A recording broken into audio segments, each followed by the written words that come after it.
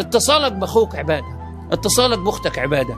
اتصالك بجارك عبادة. سؤالك عنه عبادة. شنطة تاخدها له عبادة. لقمة توكلها له عبادة. أطع... كل يوم لو كنت فقير من العيش اللي بتاكله أنت وعيالك طلع بلحتين اديهم لواحد ما. لازم تتصدق يوميا. كان اجود من الريح المرسلة وهذا الحال يا عباد الله. ما كانش سيدنا النبي أجود من الريح المرسلة وعنده 2 مليون جنيه في البنك.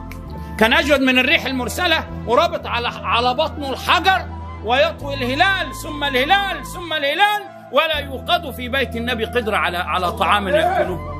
يعني كان هذا الجود مع الفقر هذا الجود مع مع مع شدة الحاجة والفاقة. يا عباد الله.